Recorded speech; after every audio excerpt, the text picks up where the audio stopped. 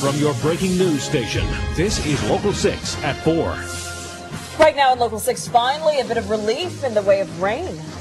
However, it may be too little, too late. We may soon be in for new water restrictions. And a new twist in Friday's fatal hit and run. Investigators are now searching for the SUV's passenger.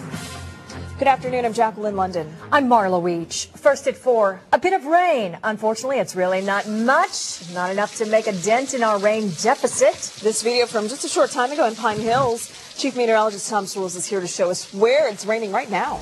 You know, it's not enough to do much good, but man, is it exciting when it's raining at your house. I mean, did you get in on this today? Oh, yeah. Hopefully you did. Take a look at who's getting it right now. It's over here in Volusia County, where the heaviest of the showers are for the moment. They're not really out of hand heavy, but some of you right along the immediate coast here still clinging to just a little bit of, of rain activity. Here's A1A.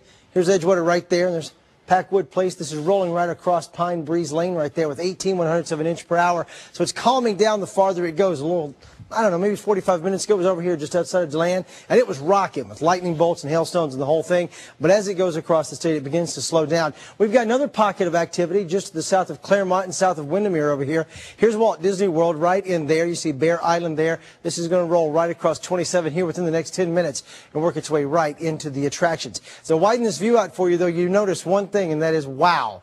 In the last few minutes, things have really slowed down as far as the widespread rain goes. Still a little pocket of activity there outside of De Springs, but otherwise, it's really slim pickings out there. Coming up, we'll talk about why we're getting the rain now and what your rain chances are for tonight and tomorrow. And our other big story, investigators are now searching for a passenger in a fatal hit and run. 14-year-old Megan Hensley was hit and killed Friday on County Road 565A in Groveland. Over the weekend, troopers found the SUV they think hit her, but so far, no arrests have been made. Mike DeForest is live at the FDLE Crime Lab in Orlando. Mike, what's going on out there today? Well, uh, sometime uh, possibly